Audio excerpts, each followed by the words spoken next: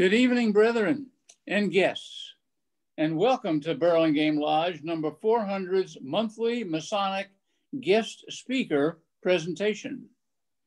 This is the seventh speaker in our speaker series. My name is Barry R. Kopp, as you just heard, Junior Warden of this lodge. On behalf of our lodge, we would like to offer a sincere fraternal welcome to all. We are very pleased to have you here with us again this evening.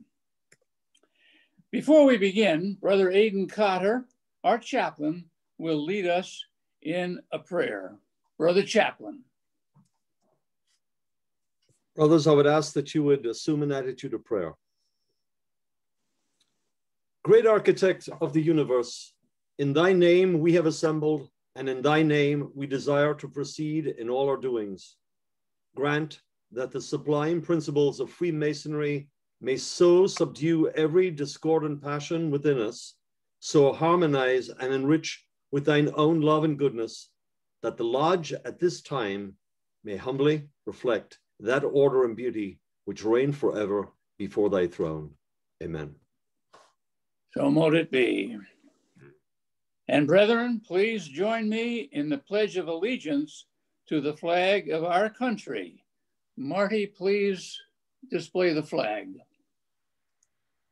Brother Chris, please lead us in the pledge. I pledge of allegiance to the flag of the United States of America and to the republic for which it stands, one nation under God, indivisible, with liberty and justice for all. Thank you, Brother Chris. Helping us tonight, we have worshipful brother Roberto Diaz Jr., Master, worshipful brother Marty Kusing, whom you have met, past Master, worshipful brother Gary Stevens, also a past Master of Burlingame 400, and brothers Chris Advincula Jr. and brother Aidan Cotter as chaplain. So with that, brethren, it is my great pleasure and honor to introduce to our lecture series worshipful brother Tim Hogan, past master, speaking to us from the mile high city of Aurora, Colorado. Now, now I know it's Denver, but I think Aurora is pretty much probably at this pretty close to the same altitude as that. Yeah, same. We we border each other for sure. yeah, pretty tight. mm-hmm. Brother Tim, is a past master, as mentioned, of several different esoteric organizations over the past 20 years, as well as a leader in several Masonic bodies.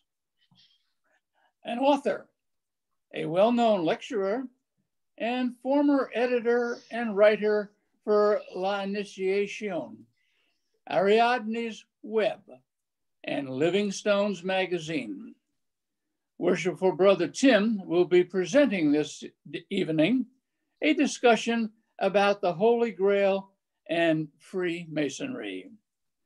Worshipful Brother Tim, with that, the virtual floor is yours. Great. Thank you, Worshipful. Um, well, brethren, I, am so happy to be presenting before you today. Uh, thank you for having me.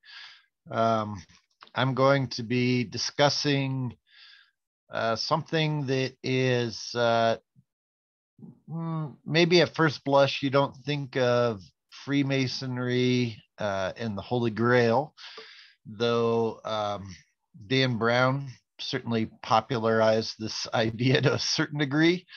Uh, but I'm going to get into a little bit more meat than what uh, Dan Brown, you know, flirted with, I guess, in, in his books. So um, with that, I, what I'm going to do is I'm going to share my screen and uh, so you can see some slides that I've prepared as I as I present here. So let me uh, bring this up here.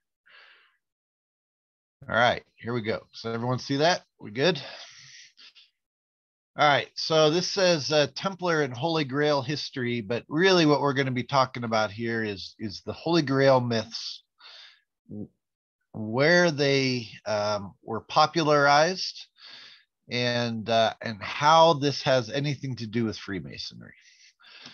Uh, within Freemasonry itself, I mean, Freemasonry is not um, foreign to the idea of a quest. Uh, certainly within the Masonic tradition, we've we've heard the idea of uh, you know the quest for the lost word of Freemasonry.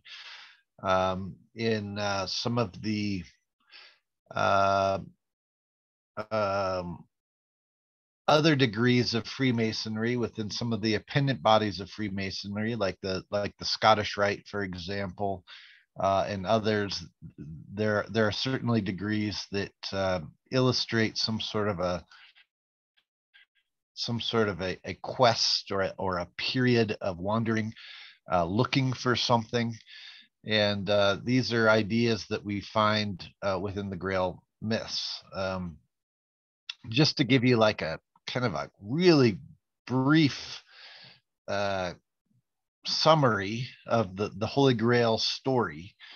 Um, the, the, the, the legends of the Holy Grail uh, first appeared, as far as we can tell, uh, as early as the 1100s. And it was during this time that wandering troubadours in the area of southern France uh, began to first tell the story uh, they they came to be associated with the Arthurian legends uh, within uh, the British Isles. Um, but the first uh, the first person to really uh, tell the story of the Holy Grail was was a guy by the name of Chrétien de Troyes, who was out of France, and he was he told one of the first stories of the Holy Grail. And then shortly thereafter, there was another guy by the name of Wolfram von Eschenbach, uh, who was a German knight. Uh, but he also told the story of the Holy Grail in a book called Parzival. And both of these stories tell, you know, a similar thing. Basically, the story goes that there was a uh, there was a grail king there was this king that that guarded the holy grail and he had a whole team of people under him who who guarded the holy grail and uh, he went out into battle and he uh, his battle charge was uh, he he gave a battle charge in the name of love but it wasn't like pure love from the heart it was more like um, more like lust as opposed to love.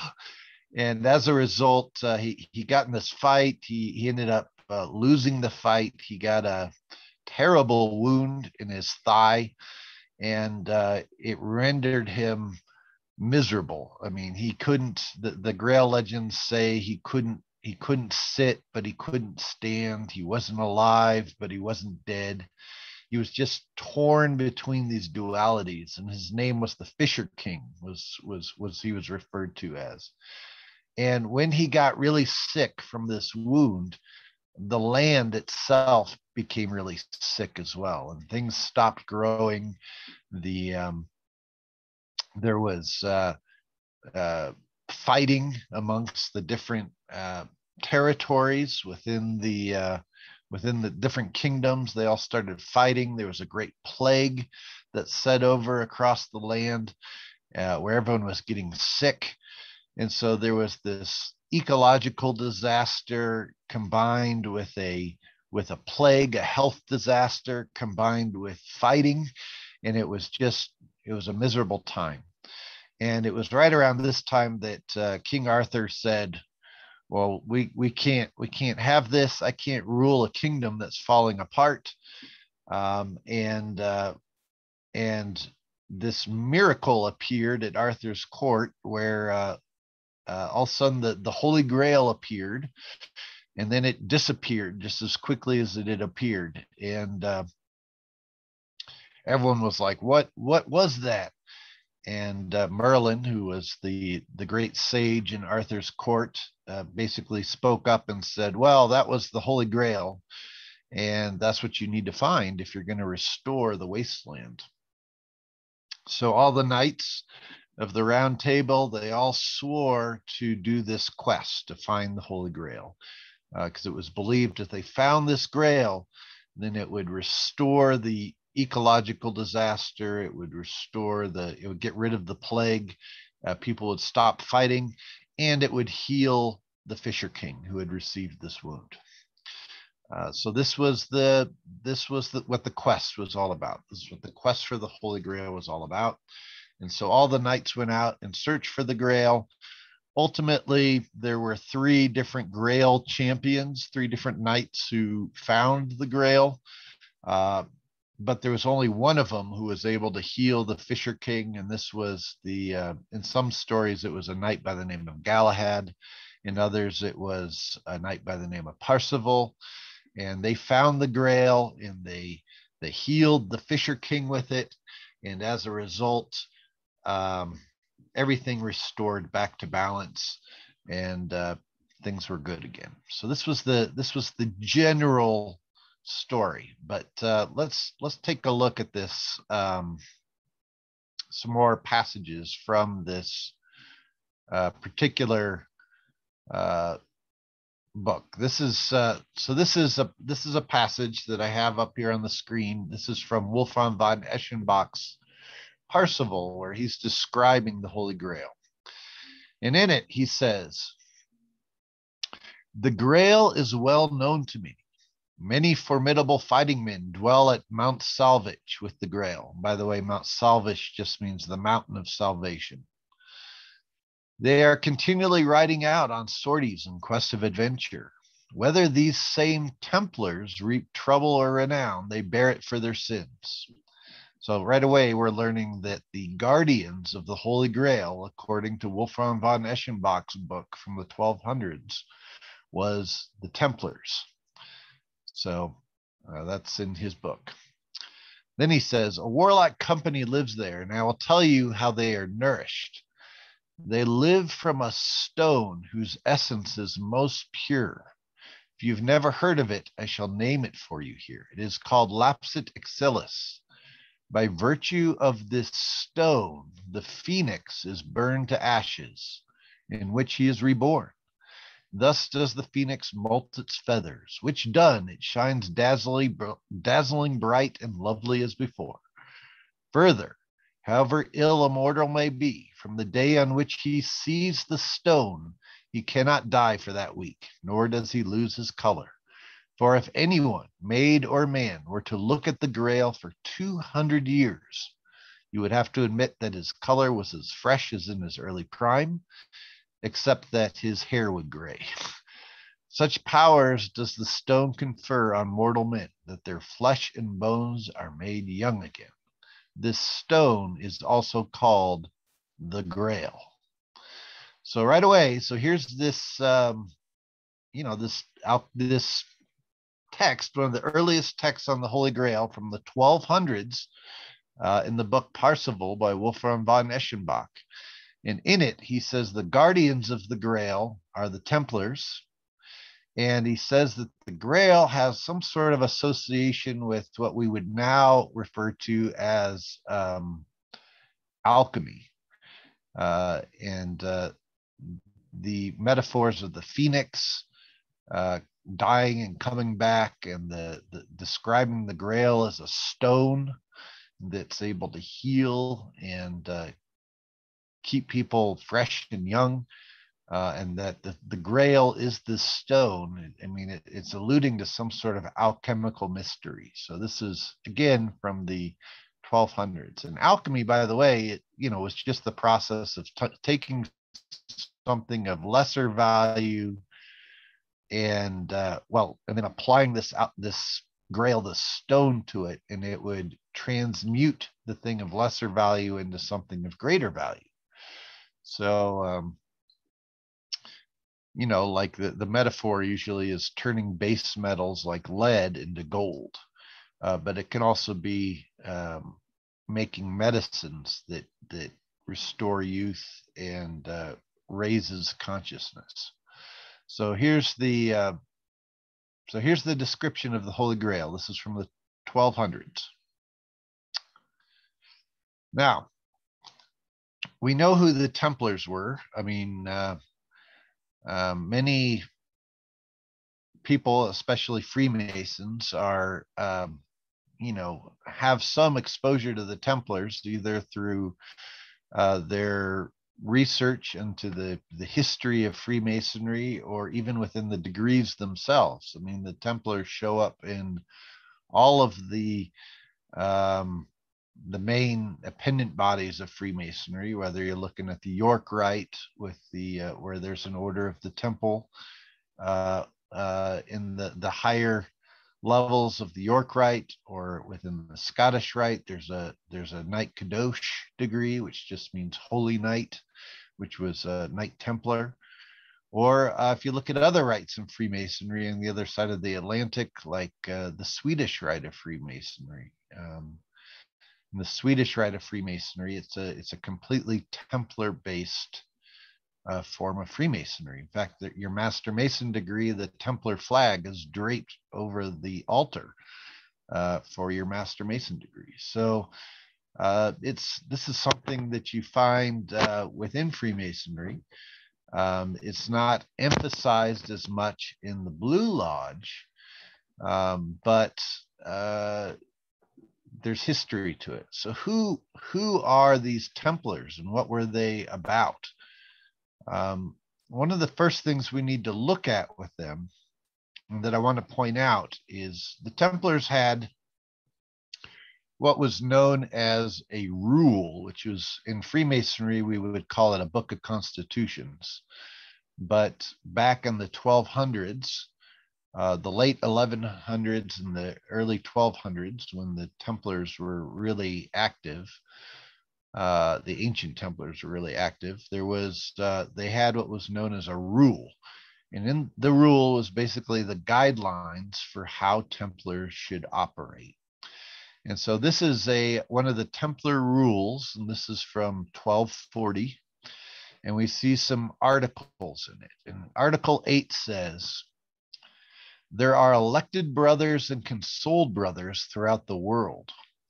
Where you see tall buildings built, make the signs of recognition, and you will find many righteous men with knowledge of God and the great art they have received it from their fathers and masters and are all brothers.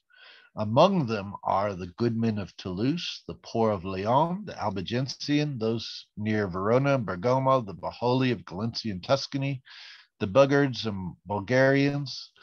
You will lead them to your chapters by underground passages, and for those who are fearful, you'll give them the consolamentum outside the chapter before three witnesses.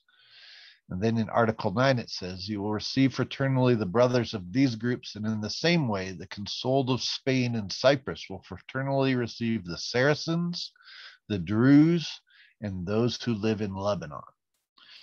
So here are so here's a Templar rule, and it's saying, look, the Templars have special associations and special recognitions with several groups uh, and it points out who all these different groups are. And it says if you have to look for tall buildings, first of all, so it's saying that the people who the Templars have special relations with obviously know how to build big buildings. That's number one. Number two, it says you need to make signs of recognition. So it's saying that the Templars had special signs of recognition that they were making with these other groups and that these other groups were all passing on these traditions. So, who are these other groups? Well, it just so happens that all of the people that are, all of these groups that are mentioned in these articles uh, belong to a, uh, a group. They were they were groups of mystics that uh, referred to themselves as Gnostics. And Gnostics were people who believed that anybody could receive a direct knowledge, a divine experiential knowledge of God uh, without the intervention of a priest. So they believed that anybody could have a direct connection with God through their own efforts. And this is part of what separated them from the Roman church at the time, or even the Eastern Church at the time, which taught that uh, you can only get to God through an intermediary, which was a priest. Uh, well, all of these groups didn't believe that you needed a priest to come to connect with God. And the Templars had special associations with them. So let's look at some of these a little bit more. Here's the, uh, this is the, um, this is just a few things. Uh, this is the, this is on the left here. This is Jacques de Molay. He was largely regarded regarded as one of the the last Grand Master of the Knights Templar while they were still under the Roman Catholic um, patronage. Um, in 1314, they were uh, the Templars were suppressed by the Roman Church. They were declared no longer um, under the uh, patronage of the Roman Church and many believe they went underground at that time and they went and they hid amongst these other groups that they had special associations with uh, we also see up here on, on the upper right that's the one of the seals of the knights templar which was two knights riding one horse and then down here this was the templar flag also known as the beauseant which was a black and white you know, checkered with the, the red Templar cross in it. Let's look at a few other examples of things that the Templars were known for in their day, uh, particularly related to uh, these alchemical sciences, because the Templars, along with meeting with these Gnostic groups, uh, it also mentioned that they had special associations with groups like the Druze that lived in Lebanon. And the Druze, amongst other things, were known for translating and making available uh, ancient Egyptian, Coptic, Roman, and Greek alchemical manuscripts. So they were translating these alchemical manuscripts and trying to make, um, you know, learning how to make certain elixirs that could heal the body and uh, could make things, uh, you know, he, you know, could heal things. So the Templars learned about this, and uh, and then uh, started applying it themselves. And the, and the, Templars were known for, amongst other things, when it came to health, they were known for developing and creating uh, CPR. They were also, because they believed that the breath uh, contained a vital life force, that if you could simulate uh, a dead body breathing, that it will bring it back from the dead. They also were experimenting around with uh, certain mold extracts, which we now recognize um, were being used uh, in what we would call antibiotics now. I mean, they were they were developing things like penicillin, but this was clear back in the the 1200s. So, and we have this example in in uh, recorded in, in 1245. William de Sonac became the Sovereign Grand Master of the Templar Order in Jerusalem. And later in 1247, Brother William de Sonac sent a distinguished Knight Templar delegation to England in order to present to King Henry III a portion of the blood of our Lord, which he shed onto the cross with the salvation of the planet enclosed in the handsome crystalline vessel. The relic was authenticated beneath a seal from the Patriarch of Jerusalem, the bishops, abbots, and nobles on the Holy Land.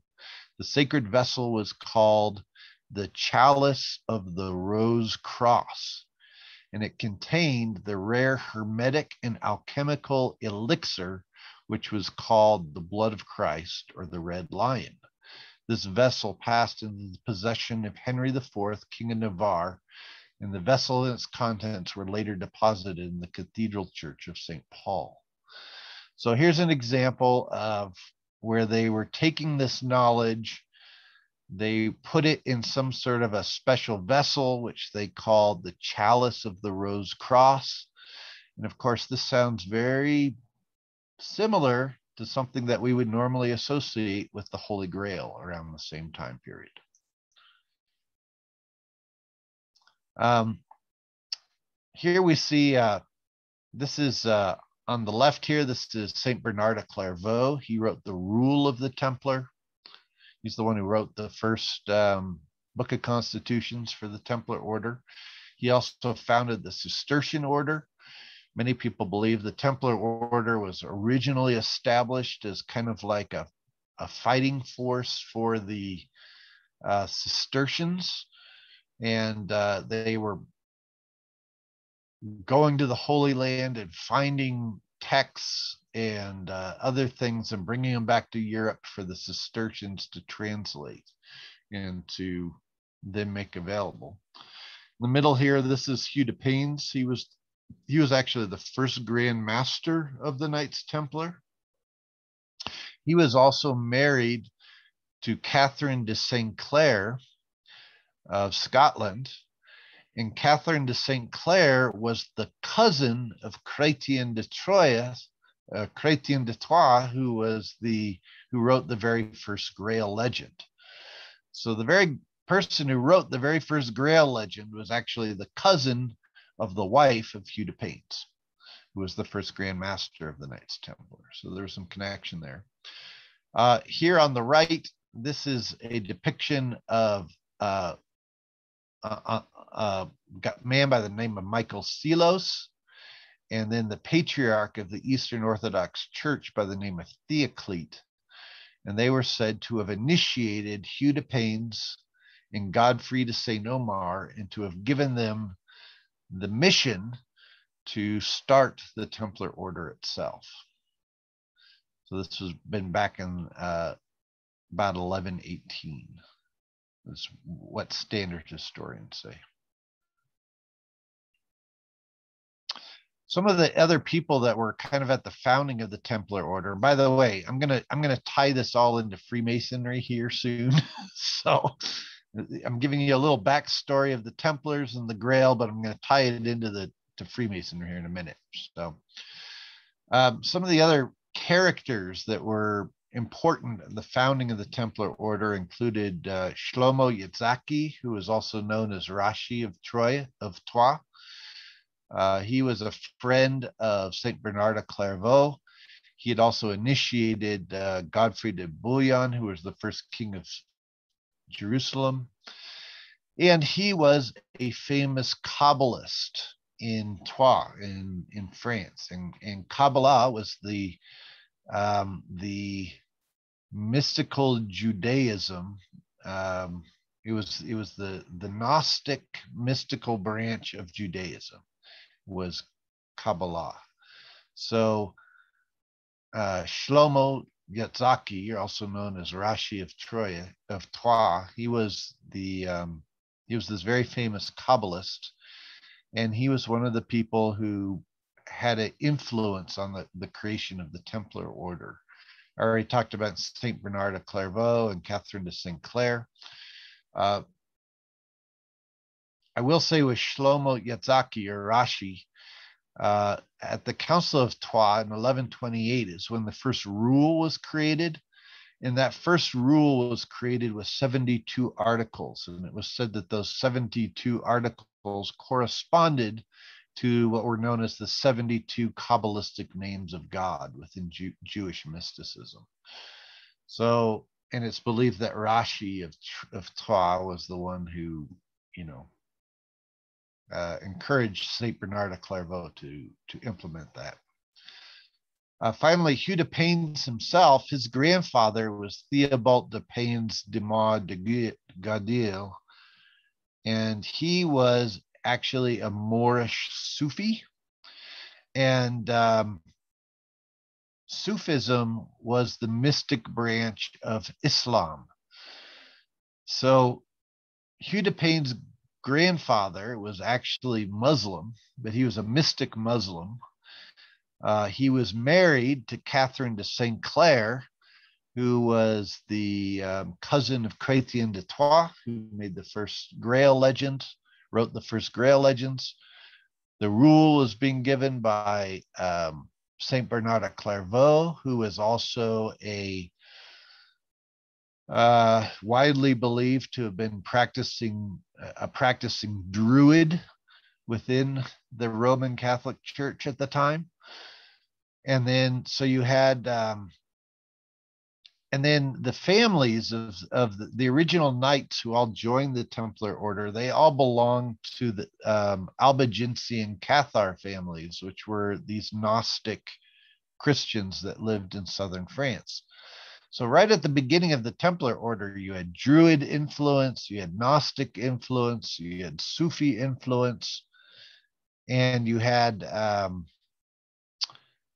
Kabbalistic influence, and of course, alchemical influence as well. So, there were these mystical ideas that were right at the foundation of the Templar order.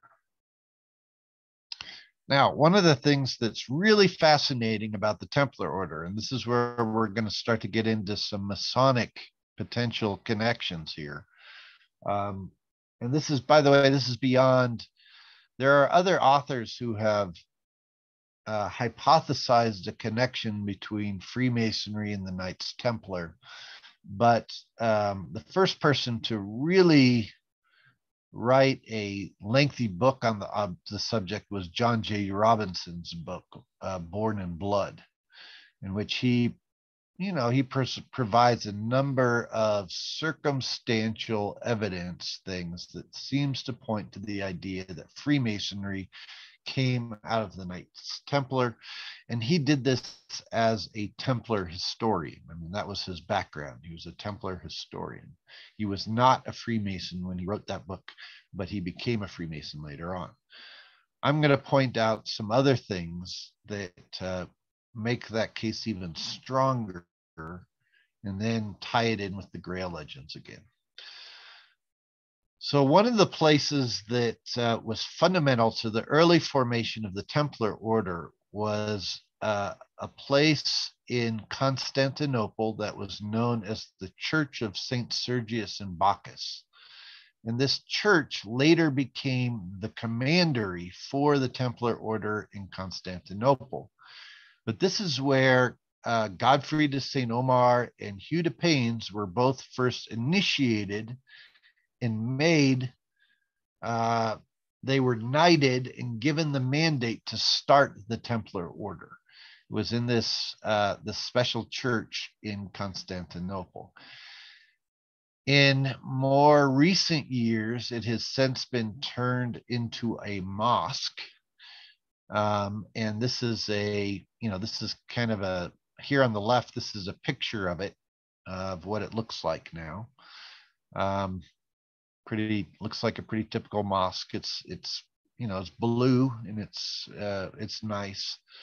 I will point out uh, at the front of the mosque, there's a couple of pillars with globes on them, which is very unusual. You don't normally find that in mosques, and you'll also see a, a honeycomb turret uh, up at the top, and we'll discuss that more in a little bit. I have um, visited this mosque several times, uh, and there's several key things in it that that go back to the Templars.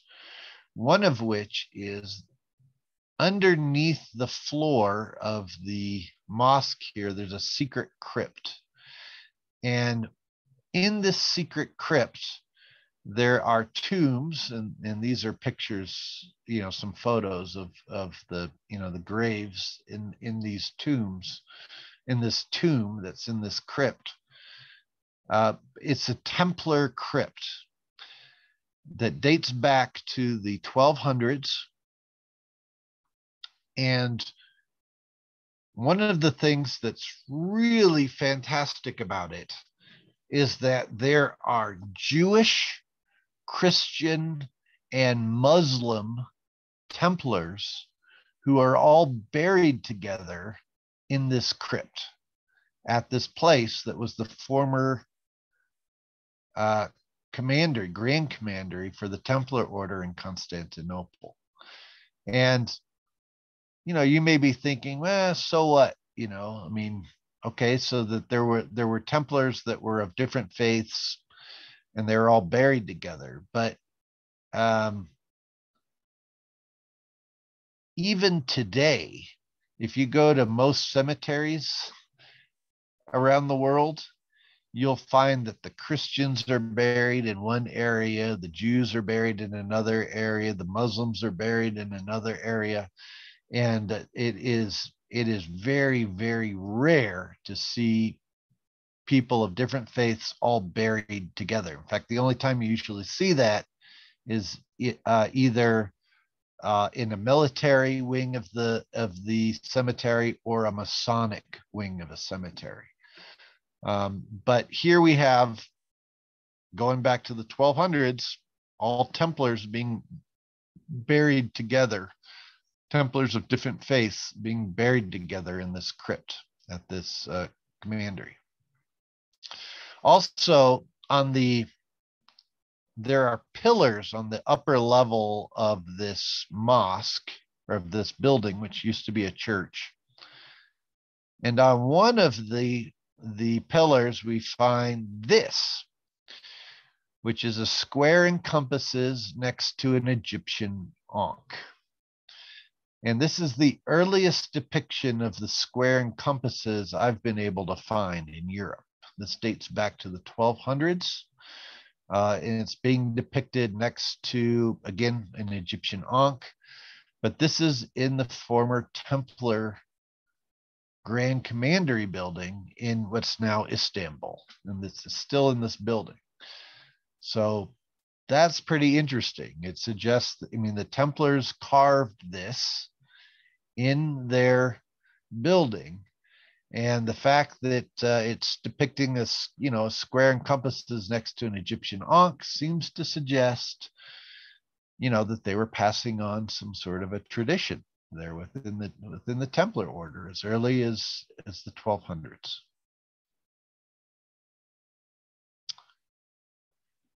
One of the things that the Templars, according to to standard Jewish historians, uh, have one of the things the Templars are credited with finding as they are in the Holy Land, because they were they were even though their mission was to protect pilgrims in the Holy Land, uh, it's known they were actually digging under the Temple Mount, and they were they were doing archaeological excavations during this time.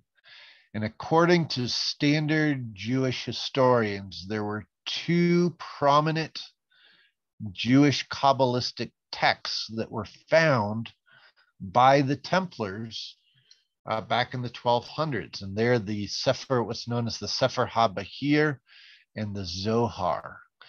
And what's significant about these two texts is they talk about two things. First of all, they they highlight uh, a code that's found uh, within the Torah or the Old Testament um, which every letter corresponds to different attributes, including numbers. And so it's believed that the Torah itself was written in this kind of elaborate code. And if you understand the cipher for, for that code, then you can read the Bible in this entirely new way. So that's one of the things that's found in these texts. The other thing that's found is a blueprint what's believed to be a blueprint for universal creation, uh, which is known as the Kabbalistic tree of life. That's what this looks like right here. The Templars were said to have found these texts that that uh, provided this blueprint. And why is this blueprint significant to us as Freemasons? Well, this diagram is set up so that uh, not only is this supposed to be a blueprint for Solomon's temple itself, but it's also a blueprint for the human body and for le- levels of consciousness within the human body. So it, it's set up so that there are 10 what are known as uh, sephirot or or attributes of God's consciousness that manifested according to the word of God. So when God spoke the word and, and brought creation into being, as it manifested, it, it manifested with these 10 spheres or these 10 uh, attributes with a with a with a hidden 11th sphere and that they were all connected by 22 paths and each of these 22 paths correspond with one of the 22 letters of the Hebrew alphabet. And it was believed that each of these letters of the Hebrew alphabet represented aspects of God's consciousness manifesting in the world.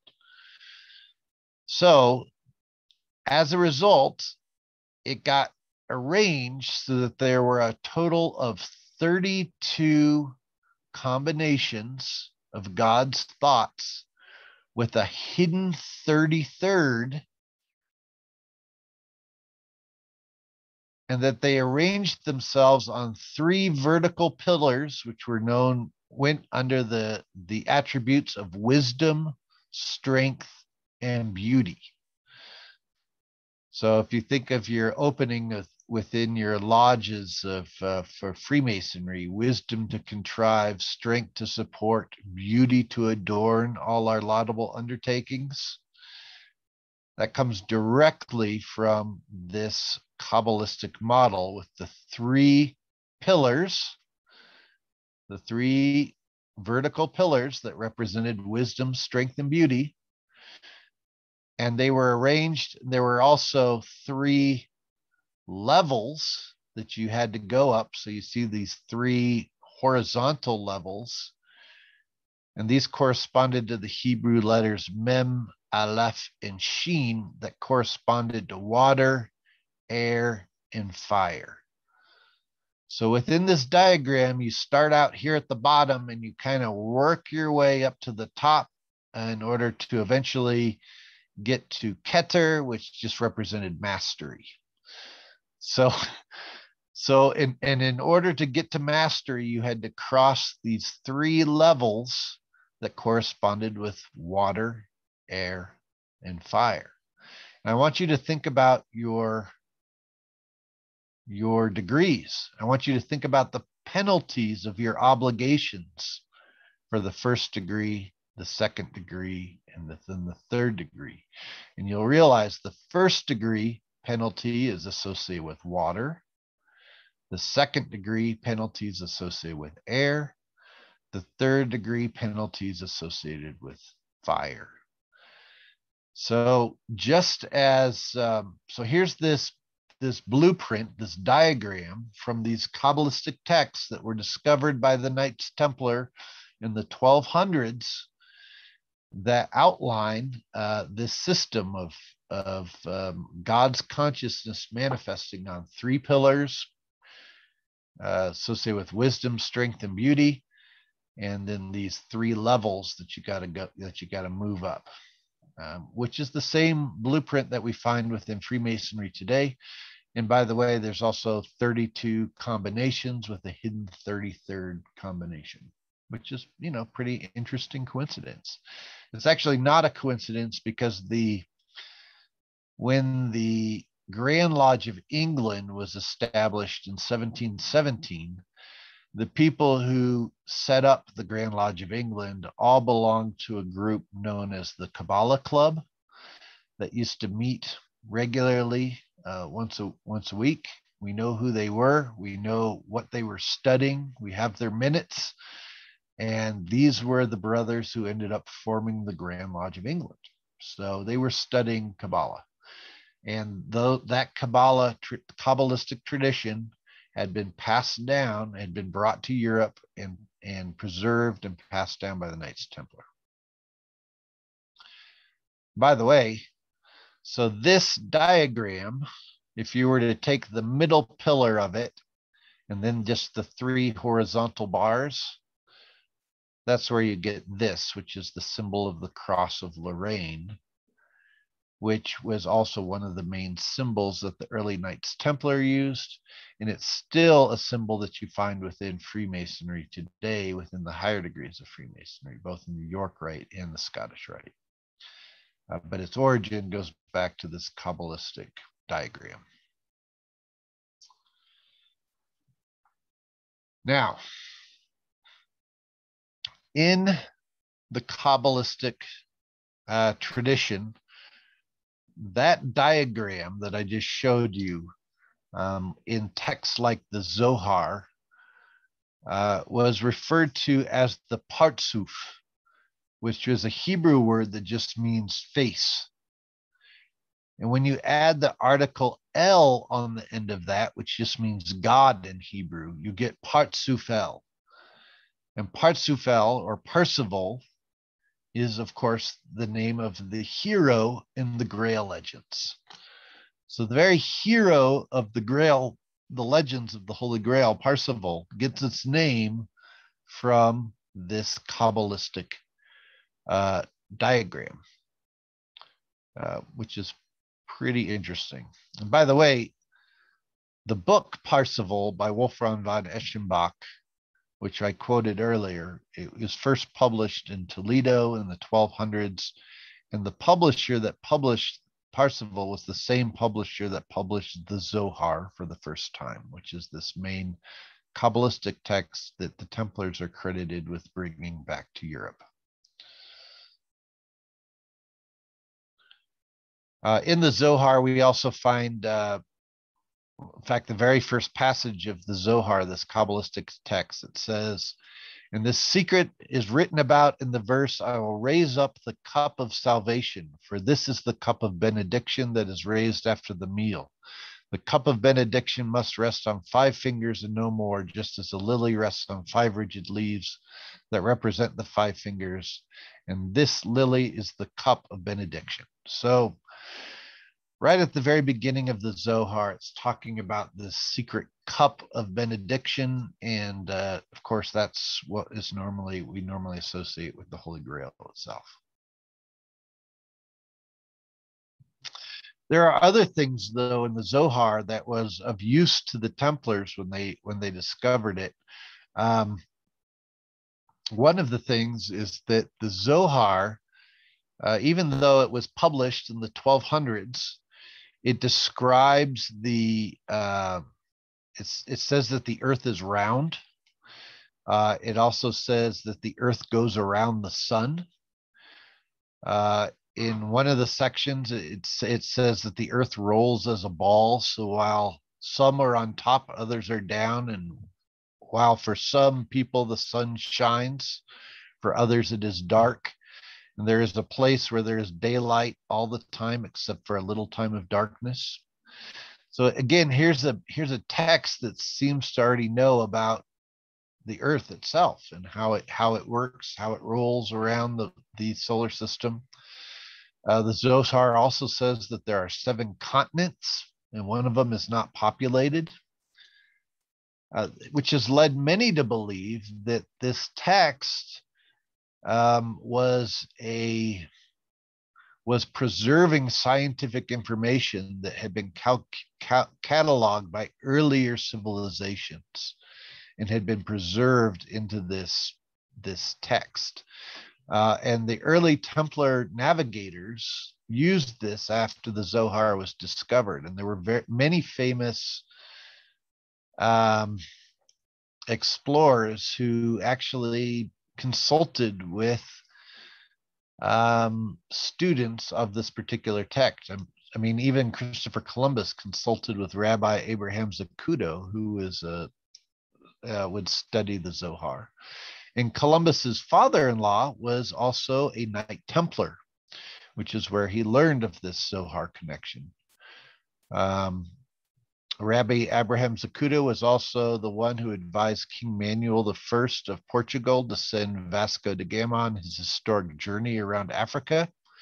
And he guided Vasco da Gama and prepared him for his famous journey. And Vasco da Gama was also a Templar initiate. So when the Templars were suppressed in 1314, they went underground. or they moved, and one of the places they they went to is Portugal, and they just reestablished themselves as the Knights of Christ at that time. In fact, many people believe that the word Portugal itself originally came from Port du Graal, or Port of the Grail, uh, because Portugal is where the Templars were uh, sailing out of um, primarily uh, as they were doing their their trips. One of the other things that's in Wolfram von Eschenbach's Parzival is there's kind of a Merlin character in it, and uh, he's a, he's an advisor to Percival, and, and his name is Trevrizent, the hermit. And it's interesting that the word Trevrizent in German, old German, just means the threefold knower, is what it means. Uh, and this title is equivalent to the Latin Trismegistus, which means thrice great or thrice, thrice illustrious. Uh, so thrice great or threefold knower. And the word hermit comes from the word, the Greek word Hermes. Therefore, this very character that's in the Grail story Parzival is in fact uh, the legendary Hermes Trismegistus, who was, uh, many believed, was the um, he, he was considered the patron saint of alchemy. He was the one who knew about alchemy. And it should be pointed out as well that the word, if you take the Greek word Hermes, which is Herm, Herme, it's spelled like H E R M E, Herme, and you transliterate Herme into Hebrew, in he, Hebrew doesn't have vowels. So in, in Hebrew, Herme in Hebrew would be HRM. But HRM in Hebrew is also pronounced Hiram.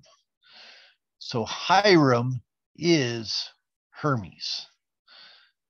And the, um, you know, and Hermes was most known for his statement of as above, so below, or the idea that there was a relationship between the heavens above and the earth below. Of course, we find this idea emphasized on the globes within Freemasonry on top of the pillars, um, where there are two globes, a, a celestial and a terrestrial, and they're both equal. So it's this this emphasizing of as above, so below. The same idea of as above, so below is also emphasized in that book, the Zohar, where it says everything is connected with everything, right through to the nethermost end of all the links of the chain. And the true essence of God is both above and below, in the heavens and on earth, and nothing exists apart from it. So this was these were all ideas that, that the early Templars were flirting with, and which later found their way into Freemasonry. By the way, this is uh, what's known as the Emerald Tablet of Hermes, which was the one of the writings attributed to Hermes Trismegistus. This is Sir Isaac Newton's translation of it. Uh, but it basically says um, that which is below is like that which is above, and that which is above is like that which is below to do the miracles of the one thing. It says, All things have been and arose from the one mind by the meditation of the one. Uh, so this is like a this is like a blueprint or a recipe for how to create the philosopher's stone, which was said to be the stone that could heal the body and transmute base metals into gold. You know, the very, very thing that uh, the Templars were said to be flirting with. So, um, so all these ideas found their way into the Grail legends and then they also found their way later. One of the things, the other things that we know about the Templars is, as I mentioned before, they the early Templars uh, the, the people who formed the original Templar order all came from Albigensian families in southern France. The Albigensians were Gnostics. They believed they were Gnostic Christians. They believed that you didn't need the intervention of a priest to connect with God.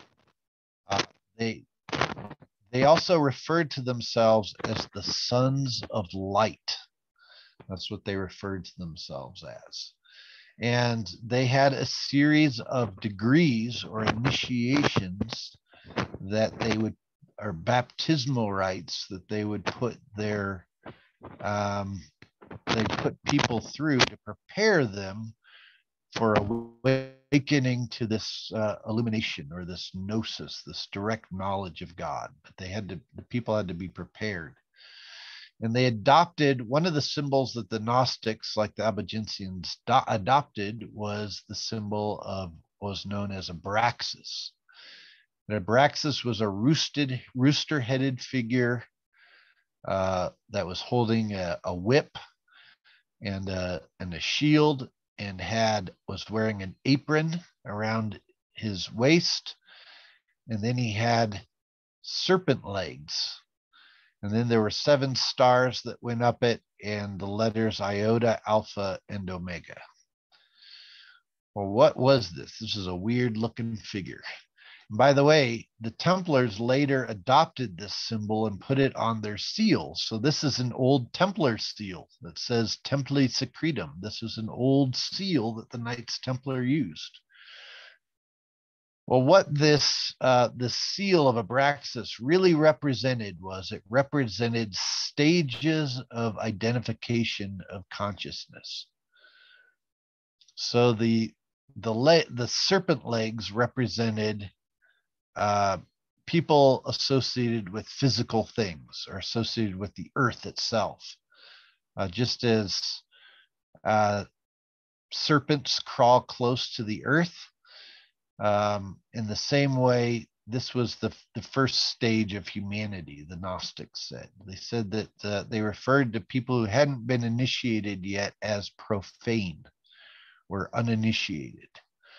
And that uh, in order to um, bring people into the Gnostic mysteries, they first had to go through an initiation that involved a baptism by water, after which they were presented with an apron that hung at the area of the abdomen, which is where all the liquid functions of the body take place.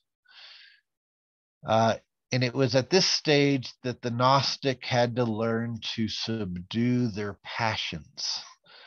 And they had to learn to use their emotions as an energy for transformation as opposed to drowning in their emotions. And they, they believed that passages in the Bible that referred to um, Jesus as walking on water, as uh, really being about how do you stabilize your emotions so that you can walk on them so you can use them to accomplish things as opposed to drowning in them. So this this um, this apron at the abdomen on abraxas represented the first stage of initiation the second stage of initiation was represented by a whip that cracked in the air. And this is, was associated with things of the mind. And that it was at this stage that the Gnostic began the study of the seven liberal arts and sciences, not just so that they could learn um, great trivia, but so that they could understand that these things were aspects of the mind of the creator. And so by understanding these things, it helped bring the person closer to the mind of the creator itself.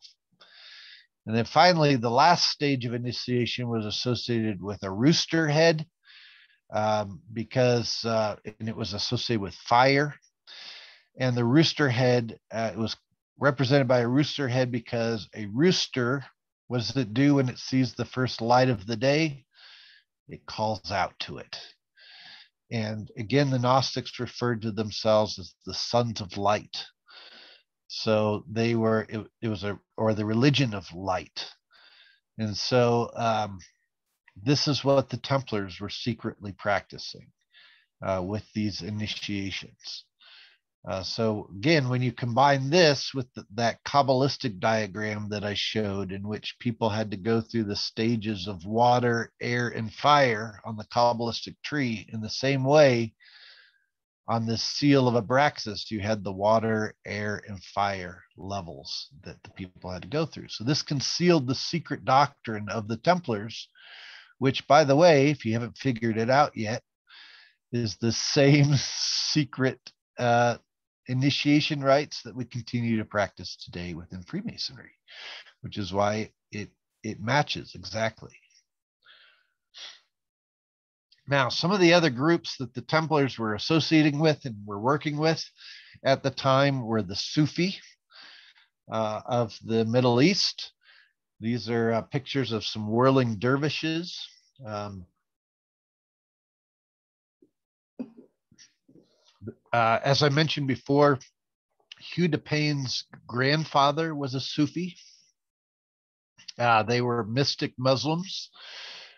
They wear these these giant um, fezzes that look like kind of like Shriner fezzes on steroids, but but they uh, what they what they represented is these these hats represented Islamic tombstones because they say they had symbolically died to this world and then been raised to a new light of understanding. Right? That sound that should sound familiar to almost everybody on this call, I would think. Um, they also, uh, you can see them doing what in uh, some uh, branches of Freemasonry is called the sign of the Good Shepherd. This is how they pray, just like how we pray. Uh, you'll find it in the Scottish Rite. That's how they pray as well. Um, these black cloaks, which they wear going into their tekkes or their temples, represent cloaks of invisibility. And they enter into their temples and they bow to a lamb skin that's placed in the east of the temple that represents the unknown master that they're all becoming. And then they're able to remove the cloak of invisibility and uh, and open their tekke. And the tekke, when they open, they have an officer in the east, in the south, and in the west. They light a candle in the center of the tekke and the three principal officers will, will give signs that represent um, their station. So the first is in the south is called the C sign, which is done like this, putting the, the hand across the throat. It's called the C sign in Sufism. The second is called the saw sign, which is the, the hand across the, the chest. And that's done by the officer that's sitting in the west. And then the master of the tekke, who sits in the east, gives the so sign, which is done with the hand across the abdomen. This is what the, the Sufi have been doing for well, since the time of the Templars, since the 1200s that we're aware of.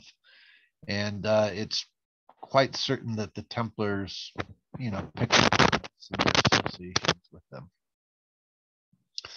Um, and by the way, the Sufi also have secret forms of recognition. So if you see someone that's a Sufi, you do this, and it represents a point becoming a line. They will then do this, which represents a line becoming a set of compasses. And then you do this, which represents the set of compasses forming a circle. And that's how they'll recognize you as an initiate. Um, that's that's what's done in the Sufi tradition. But it's clear that the Templars were were associating with them. And by the way, the reason why this these were called the C, the Sa, and the So sign is the Z part of it represented the active part, and then the I, the A, and the O represented the secret Gnostic name of God. And we find that same IAO, if you remember, if we go back on the Templar seal here with the iota, alpha, and omega on the Abraxas seal. It's the same IAO. And probably not coincidentally within Freemasonry, within the first two degree passwords, you know, in the first first degree, we have uh, the, the the the uh, vowels OA. In the second degree, we have the vowels AI, you know, being emphasized. So those are being uh, emphasized just like in these earlier traditions. The other group that the Templars were associating with, as per the rule, was the Druze. It's a group known as the Druze, and they live in Lebanon. This is their symbol. This is one of their temples. The five pointed star represents the five points of their fellowship, and it represents how Gnosis manifests in the world. That looks like the Eastern Star logo. That's because that's where Morris stole it from when he when he created the uh, Eastern Star ritual. He wrote a book called uh, Journey to the Holy Land, um, and uh, I was going to show you, show, I have it back here somewhere, but like, anyhow, where he talks about how he met with the Druze and he met with others, but this is where it came from. It's, it's the, this is where the Eastern Star logo came from. You just turn it and you get the Eastern Star logo. So, but he got it from the Druze and the Druze, again, we're associating with the Templars as per the Templars' own rule. So who are the Druze? The Druze also referred to themselves as uh, Al-Tahid or Al-Tahid Muwahhidun, uh, which just means the oneness of being. So these are the the Druze. This is a picture of me with one of the Druze sheikhs in Lebanon here on the left. Uh, they wear um, these little mini caps that look like the uh, caps that you would find in the you know, the Scottish Rite, but it's what the Druze wear. That's what they've always worn. Um, this is uh, on the right here. This is uh, Walid Jumblatt. He's the Grand Master of the Druze uh, right now in Lebanon. And, um, you know, I met with them. And when the Druze, the Druze have a secret form of recognition with each other and this form of recognition is done normally they do they use a you, you do a you do a special hand grip with them which by the way is the exact same hand grip that we what we call in freemasonry the strong grip of a master mason. Okay that's what the druze use as their their their hand grip. Only they they put a sacred cloth cloth over it. They do the same uh, five points that we would recognize within Freemasonry, uh, because those five points correspond to the five points of their star.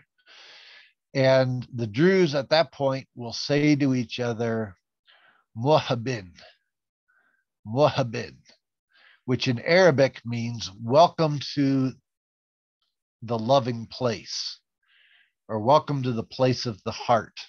It comes from the Arabic word mahaba, which just means to love. So muhabin means welcome to the loving place. And this is how the, the Druze will secretly greet each other. And this is how I was able to meet with them. They have their own initiation rites. They also venerate Pythagoras as a prophet, and they also venerate Hermes as a prophet. In fact, uh, two of the points on their star correspond to, you know, one corresponds to Pythagoras and one co- corresponds to Hermes. Um, they believe that they were the the original builders of King Solomon's temple, And according to their own myths, they believed that certain souls came to earth in antiquity, to Egypt, and that uh, they incorporated all of their knowledge into two pillars one to withstand water and one to withstand fire. And that there was a great flood that came that wiped out civilization, and that the Druze were able to find these pillars, uh, relearn the arts and sciences, and teach them to mankind and that this was the secret of their doctrine and that their initiation rites were tied up in this. Sounds very similar to Freemasonry, Freemasonry, but the thing is, the Druze have been talking about this since the 1200s, right? So, where did Freemasonry get it? Well, the only people that were traveling from between Scotland and the Middle East uh, and were bringing and who were associating with the Druze back in the 1200s were the Knights Templar.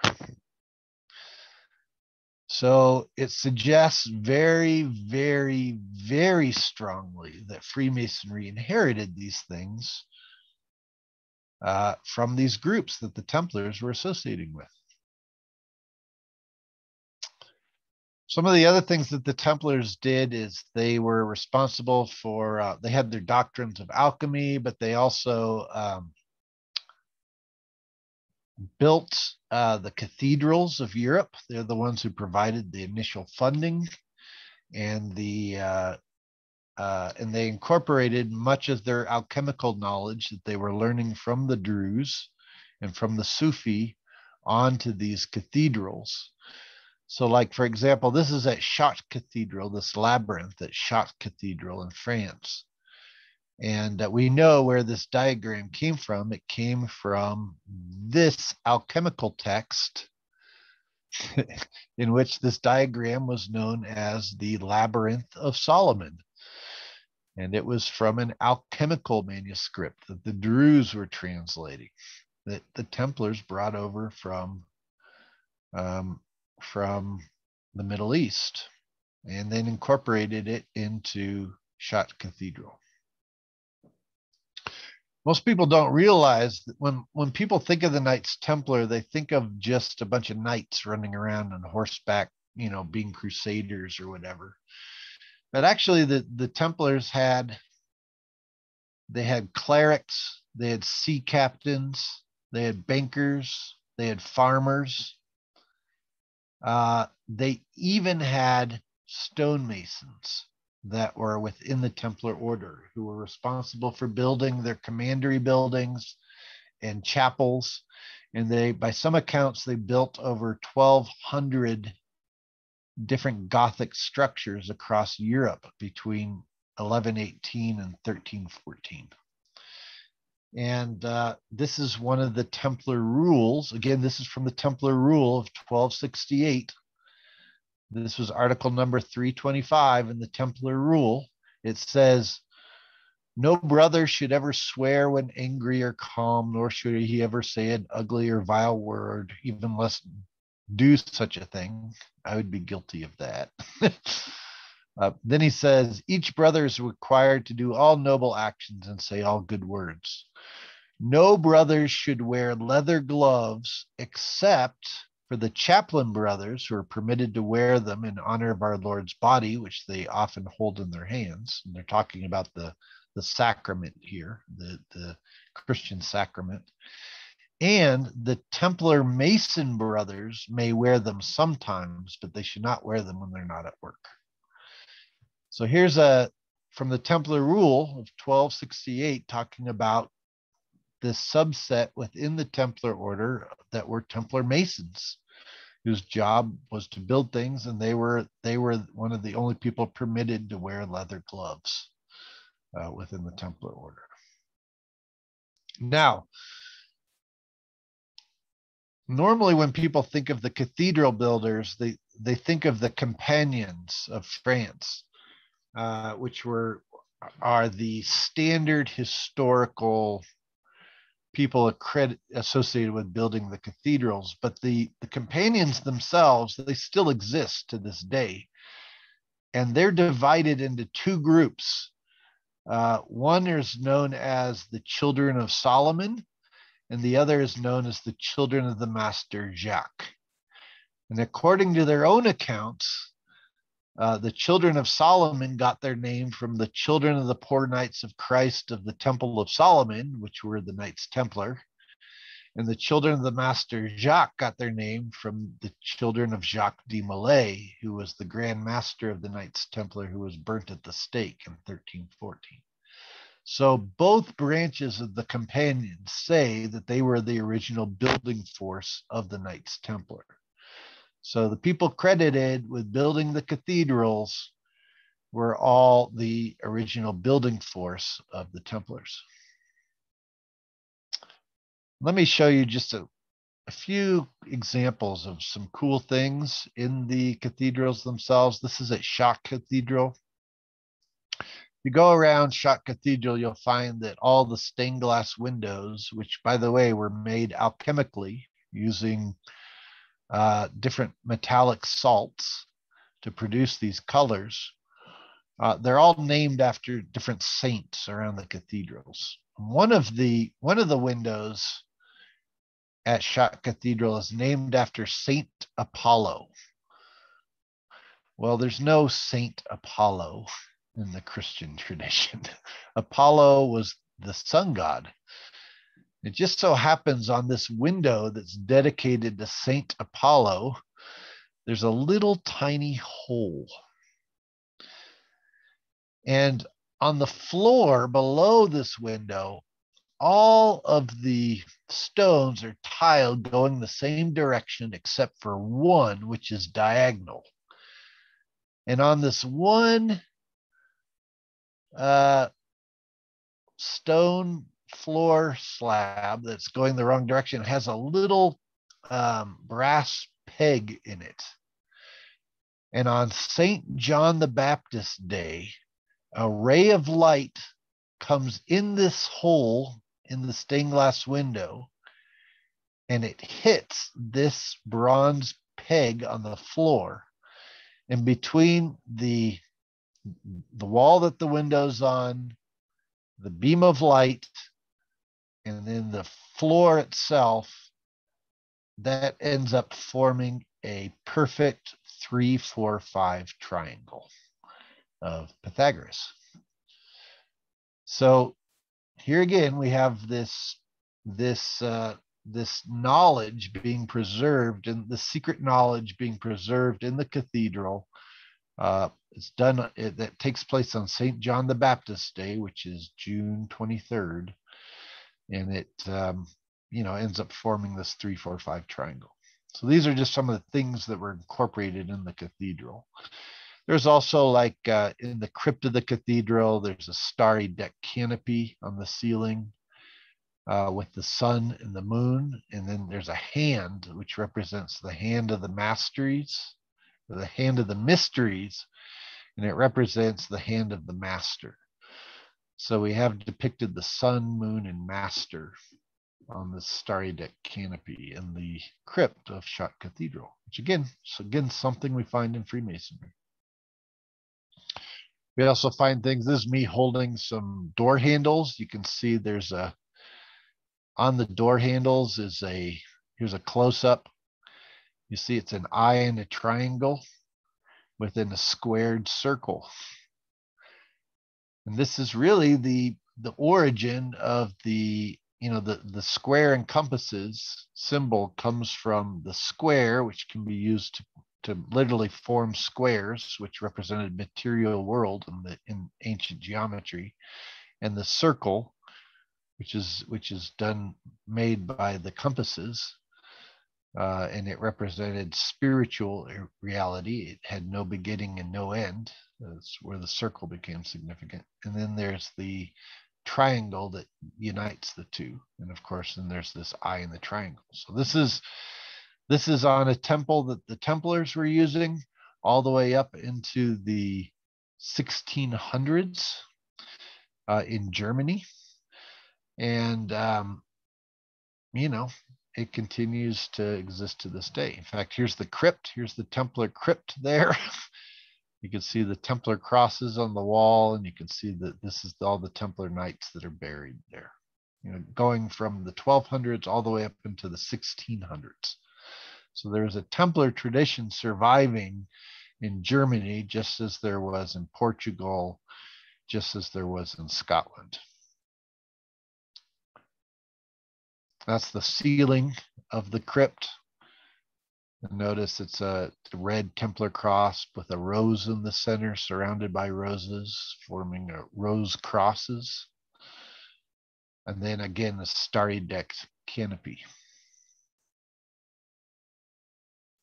pretty interesting. You know, all symbols that we find in Freemasonry today. But again, these, you know, date back before Freemasonry is supposedly established. One of the one of the things we also find in the Grail legends, which is significant to Freemasonry, in, in Wolfram von Eschenbach's Percival, after Percival finds the Holy Grail, he ends up um, marrying uh, this Grail maiden who's known as Réponse de Choix, which just means the chosen response.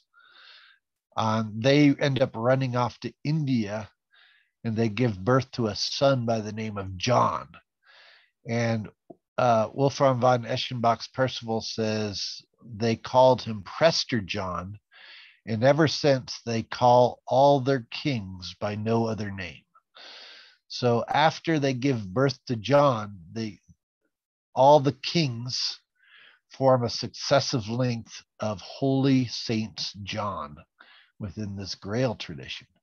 And in fact, even to this day, uh, within Gnostic groups, uh, church traditions like the Johannite Gnostic Church, uh, they their leaders continue to assume the name of John, and they ascribe to themselves their foundation with the uh, Templar order.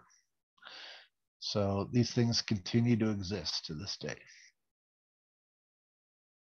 Now we can't finish this up without at least talking about briefly about um, Rosslyn Chapel. Um, certainly Dan Brown mentioned Rosslyn Chapel and associated with the Templars. There's been some Masonic scholars that have said, oh, there's no evidence connecting the Templars to Rosslyn Chapel or connecting Rosslyn Chapel to Freemasonry. But I'm just going to point out a few things that those scholars haven't necessarily noticed. Uh, there's a couple, there's some pillars and there's some front um, scenes in the, the chapel, uh, this is in Scotland, by the way, where we find Templars being depicted. Uh, first of all, here's here's one where you see the knight on a horse.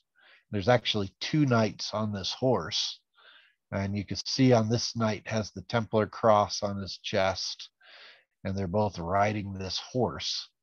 So that's the Templar seal. And then over here, we see uh, there's a Templar knight.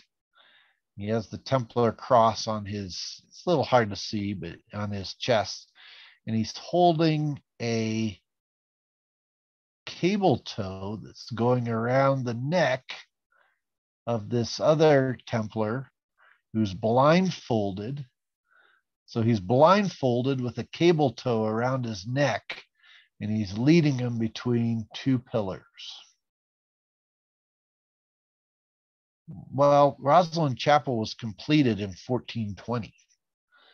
So um, that's pretty, you know, it's pretty suggestive that the Templars were practicing certain initiation rites, which are similar to what we find in Freemasonry today and seem to tie into these same mystical doctrines, which we talked about before. One of the other things that we find at Rosslyn Chapel is that there's these angels that are playing instruments, and above the angels' heads are these boxes. And in the boxes are these strange geometric designs. And forever, historians have wondered what these are. If we look closely at the angels and the instruments they're playing, we can see which notes that they're playing on the instruments, right? And then we see the geometric shape above their head. What we now know what these are is actually, and here's some more of them, what they actually are is what's known as cymatic music designs, which is if you take like a drum or a, um, you know, some form of a, yeah, like a drum with a stretched canvas over the top of it, and you sprinkle sand on it and you play a musical note through that drum it'll cause the sand on top of the the drum to organize itself according to geometric patterns. This was something that was supposedly discovered, and so this is a modern example of that. Here's another modern example of this. But this is something that was supposedly discovered in the 1800s. Yet we find um, it being in, uh, encoded at Rosslyn Chapel from the 1400s.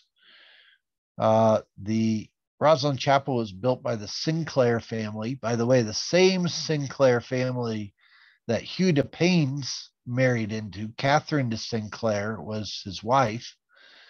Uh, this is the same family um, who, who founded the, the Templar Order. Um, so uh, it suggests that the Templars already understood this science and incorporated it onto that building. And uh, should we doubt that there really was a Templar connection between Rosslyn Chapel and the early Knights Templar? We need nearly merely to go to their their um, their former commandery in Istanbul, which was Constantinople at the time. And we find that on the ledges, the top ceiling ledges of that commandery building, we find the same cymatic music designs that we find at Rosslyn Chapel. Here's other examples of it. Well, that would be one amazing coincidence if you know the only two buildings in the ancient world that had cymatic music designs carved into them just happened to both be occupied by the Knights Templar. It seems to suggest it was a secret doctrine being passed on by the Templars. And it also seems to be proof that, yes, the Templars were involved in the creation of Rosslyn Chapel. It's the only way those things could show up on Rosslyn Chapel and show up at the former Templar commandery in Istanbul or Constantinople at the time. And by the way, um, the other thing that we also find at Rosslyn Chapel and at the former Templar commandery in Istanbul is I mentioned before the former Templar commandery in Istanbul was built like a giant beehive. In fact, this is the reason why the prayer turret had the honeycomb shapes on it because the floor tiles, which you can't see here because they're underneath the carpet, but the floor tiles from this building are all honeycomb shaped as well. So the Templars built this building as a giant beehive. And at Rosslyn Chapel in, in Scotland, on the roof of Rosslyn Chapel, we find the earliest example of a working beehive that was incorporated into the architecture of the, the chapel itself. So we have this beehive being connected by with both. And by the way, also um, Saint Bernard of Clairvaux, who wrote the rule for the temple Templars, his personal emblem, his personal watermark, if you will, his personal seal was also the beehive. So this is just again one more connection uh, connecting the Templars and connecting to Freemasonry. Finally, this is the on the top here. This is the the former Templar commandery in Istanbul, uh, where Hugh de Payens and Godfrey de Saint Omer were initiated when they formed the Templar order. Down here on the lower right, this is Templar Church in London, and it was built to look like and to mimic the same architecture of the Templar commandery in Constantinople. It's just uh, it's like a smaller version of the one that's in Constantinople. But that's where they got the architecture from.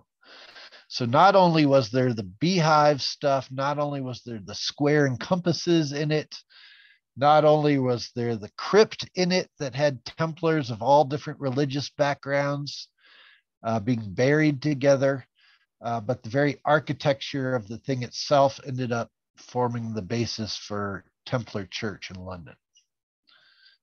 So there we have it. So what we what we have here, it, it, it we have a whole lot of um, things pointing to this idea that the Knights Templar inherited these mystical philosophies from these different groups around the Middle East and from their digging in Jerusalem. They brought these things back to Europe. This is largely what created the Renaissance um, in uh, in Europe, and um, and that as a re- the this these secret doctrines that the that the Templars had inherited were included into the Grail legends, the legends of the Holy Grail, which were published by Wolfram von Eschenbach at the same time. And it just so happens that these exact same philosophies also found their way later on into the rituals and degree work of Freemasonry. And I mean that's that's one hell of a coincidence if they're not connected, right? So it seems to suggest that yes, Freemasonry is the inheritor of this Grail tradition of which the Templars were the the guardians of, um, and now it's uh, it's inherited by Freemasonry, and you are the you're the guardians of this philosophy. And every time you're doing initiation work, every time you're doing degree work, you're passing on these same fundamental ideas that were being preserved by all these groups that the Templars came in contact with and which were fundamental to the Grail legends themselves. So um, that's all I got as, as, as, far as this presentation goes. I mean, we could go on for hours and hours more, and I could show you a whole lot more. But for the sake of time, I think that's a good, uh, a good summary of what you've inherited um, as as uh, Freemasons in our tradition. So, uh, anybody have any questions? well, first, first before we get to that, brother Tim, I have to thank you so much for this very deeply researched and, in my way, thought masterfully presented amount of material in, in this short amount of time that, that you had uh, in this talk. Indeed, a fascinating presentation. I think we all would have to agree with that. So, and for everyone else around me here and all of us together, we thank you deeply for this really fascinating information. Thank you. And yes, um, I believe we I do have some questions if you still have a little time for us. Uh, I do. that. Uh, brethren, I will again call your attention to the bottom of your screen. If you wish to direct a question to our speaker, you can either click on the chat box and submit it, or you can click on the raised hand feature and ask your question directly. Rest assured, Rest assured that if your question does not get answered tonight, they will be saved and forwarded to our presenter, uh, worshipful brother Tim. Now, brothers Chris and Gary, uh, some questions for Brother Tim? Okay, so our first question is um, from Dr. Patrick Bailey from Burlingame Lodge 400. I am very interested in making the Philosopher's Stone mm-hmm. using molten, molten antimony and gold cakes, and then by using acid and base over and over to swing the pH and form monoatomic gold in the mixture. Have you ever, are you doing this? And who can I contact to proceed in doing this? Um, yes, well, that is that is definitely one of the secrets to uh, alchemy. I mean, it's uh, so monoatomic gold uh, can be extracted out of a number of different things. It's it's found in um, gold itself, but you can also find it in sea salts and in a number of things.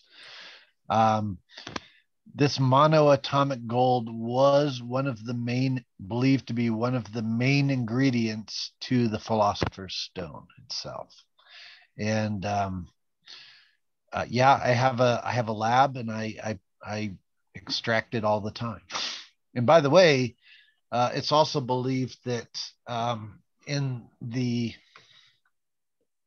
torah when Solomon was said to have received 666 talents of gold a year in exchange for bread. That this was what it was really alluding to was this idea of, first of all, that number 666 had, had nothing to do with the devil. In the ancient world, that was the number of transformation or transmutation. So in the story, he receives 666 talents of gold and he exchanges them for bread, which seems to suggest the, the, the secret message there is he was taking gold and he was transmuting it into this bread, which uh, in uh, the biblical language would be known as shewbread or manna itself. So manna was associated with this. Uh, anytime you see mana in the Bible, it was really alluding to this monoatomic gold. And by the way, the the Albigensian Cathars, who the original Templars all came out of, they had a ceremony that they performed uh, each year that was kind of like a communion rite, and it was known as the Mani Sola ceremony and it was basically a communion using this monoatomic gold. So they were passing on this this knowledge. Um, the Druze were also passing it on, as were the Sufi, and they were all they were all studying these alchemical things, which we also find in, Freemasonry. So hopefully that kind of is a general summary of it. so what's the next question? Uh, well, we have the next question coming from Brother Irving Sambolin. Have you come across the translation of the journals of Prince Henry Sinclair, 1353 to 1395, corroborating the connection between the Templars, Rosslyn, the Sinclairs, and Freemasonry, as well as evidence of the Templar voyages to the Americas? I, um, I have, yeah. I've, I've studied uh, all of these journals. Um, they're published by Diane Muir, is her name, M U I R, who's a who's a also a uh, very established genealogist. Just as a side, um, but they um, uh, these journals uh, do discuss uh, Prince Henry Sinclair's you know, trips to the Americas in which he brought artifacts from Jerusalem over to the Americas to be deposited in secret vaults. And uh, it's there are several things in these that seem to suggest a um, an early connection between the Templars and what was to become Freemasonry.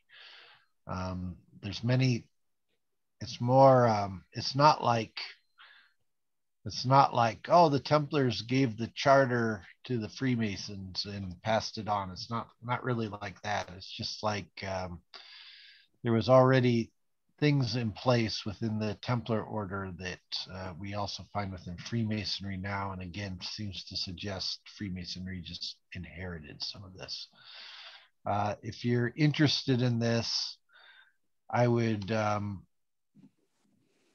really point out, uh, I would really recommend um, Scott Wolter's book. Um, let me grab it here. Hang on.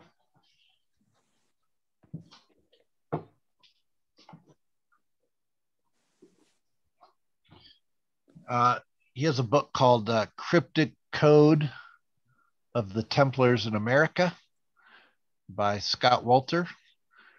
Uh, and he explores some of this as well as some other documents um, related to these early Templar voyages to the Americas. Um, and then um, Diane Muir also has a book out published that I, I don't see it right now, but it but it's it is the same, just as it says, it's the actual journal entries of uh, Prince Henry Sinclair um, in his journeys to the Americas. So, um, carrying Templar treasure. So, yep. Okay, the next question is from Dr. Philip Doyle. Thanks for much so much for this opportunity. I study harmonics and ratios in a system called the Lambdoma, which is held to have its roots, roots in the teachings of Pythagoras. Cymatics, as an example, form only at certain frequencies, otherwise are indiscernible. That suggests a quantum or stages of a higher order. Can you, can you suggest any texts or sources that expand on the effects of frequency on consciousness, Masonic or otherwise? Ooh, that's a that's a really that's a deep question. Um, well, I, I, will say that the um, it's it's believed that many of the early chapels and temples uh, that we find with within the the cathedrals, like some of the crypts in the cathedrals, they were built with these harmonic ideas in mind.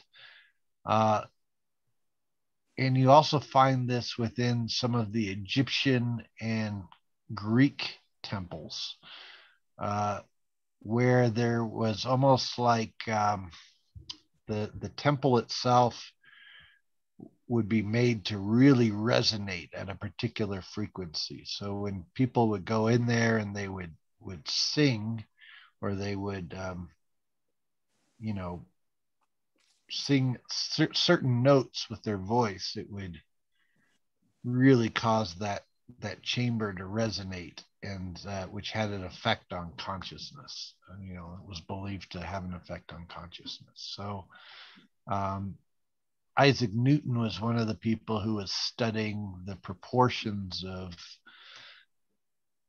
uh, heights of the cathedrals in relation to diff- certain notes and how that caused a resonance in the consciousness. And um, it was believed that many of the early church songs were uh, were doing this as well. And by the way, the ratio proportions of these cathedrals also corresponded to uh, ratio proportions of um, what we now call uh, Bode's law of the distance of the planets from each other and uh, how um,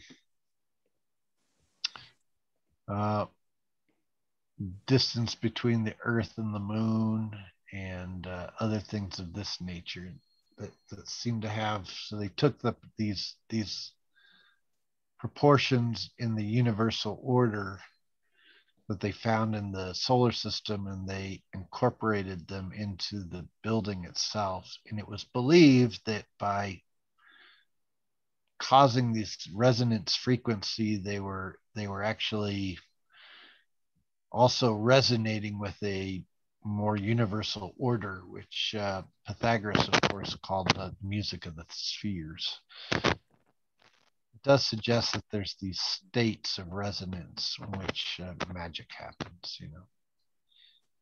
I don't know if that answers it, but that's a pretty deep, deep subject. But um, Yeah, there's evidence.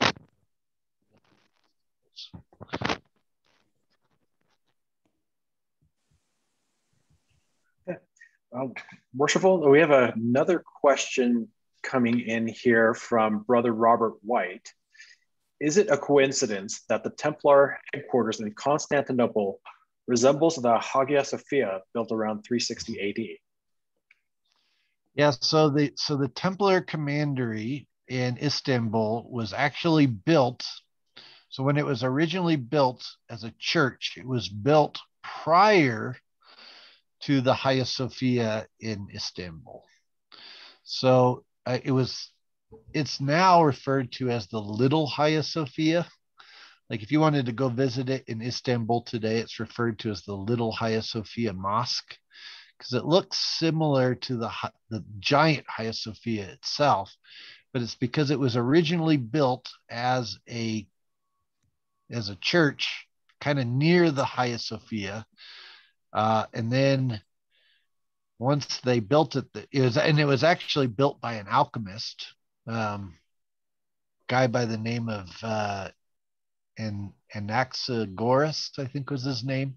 He also wrote books on uh, burning mirrors and other weird stuff. But he um, he's the one who who originally set up the uh, the architecture for the little Hagia Sophia, and then from which was called the, the, the Church of Saint Sergius and Bacchus at the time.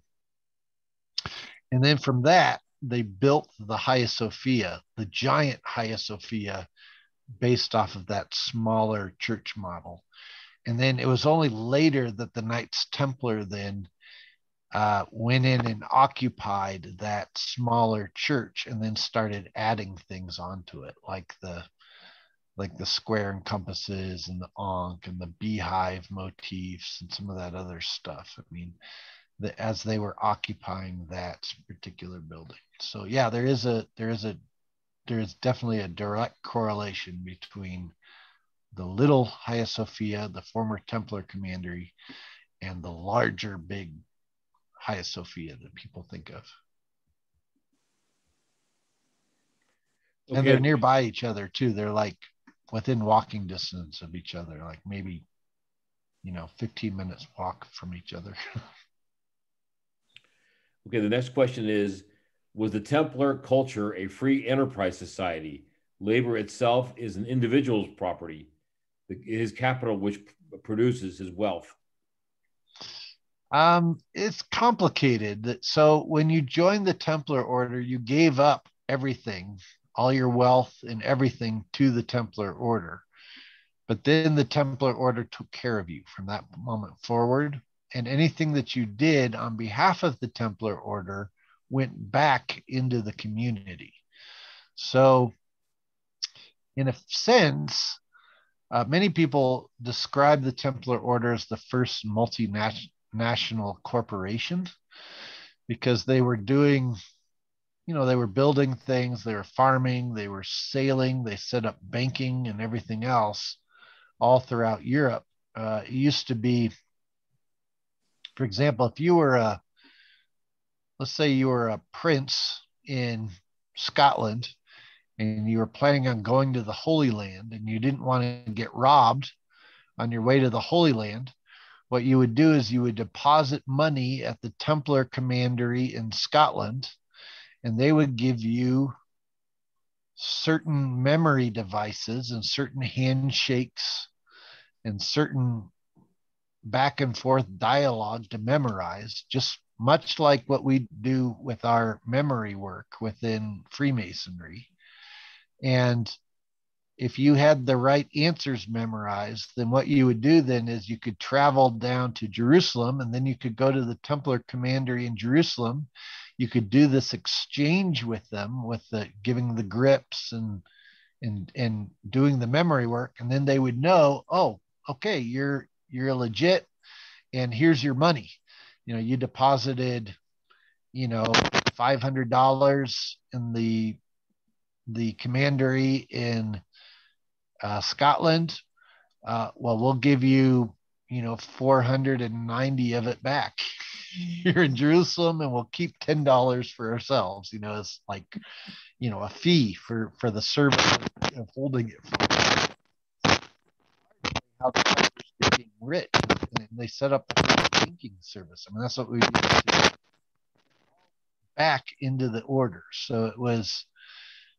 Um, they set up banking and business that transcended borders and the templars didn't have to answer to anybody but the pope. So that was the only person they had to answer to. So they were able to do what they wanted where they wanted. They were free in that sense. Instead of making money for yourself as an individual, if you were making money, it went back into the order itself. So it was all communal within the order. So, but they they gained so much money that they um, through their endeavors that uh, you know it was said they had great reserves, and this was part of the reason fall because uh, King Philip the Fair of France, Philip IV, he uh, he wanted to stage wars in Europe. He was trying to set himself up as a war king. Money to do that, and and he didn't have the money in France to to do the wars that he wanted.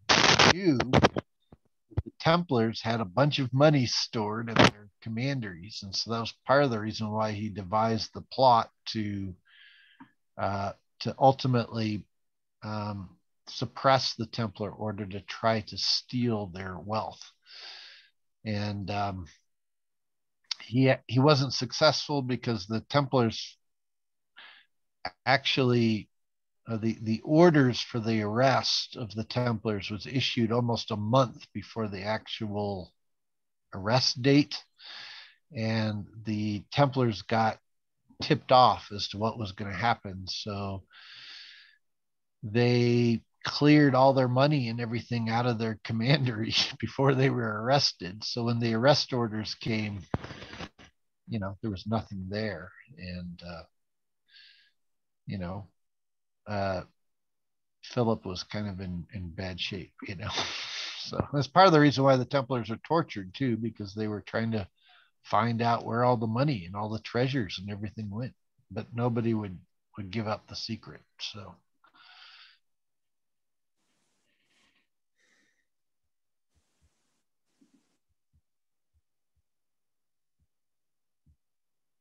Any other questions?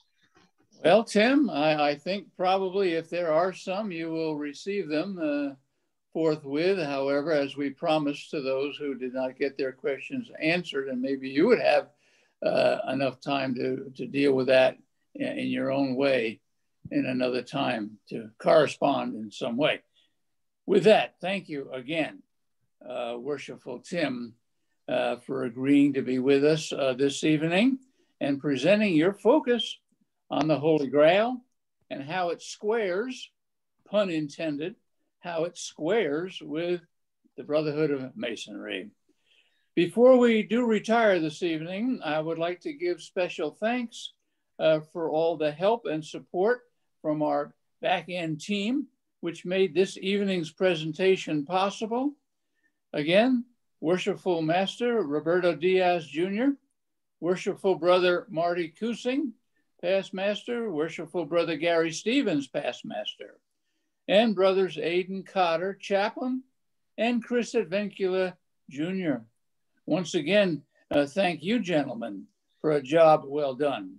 And brethren all, thank you for being with us tonight. And we look forward to having you join us again for our future speakers.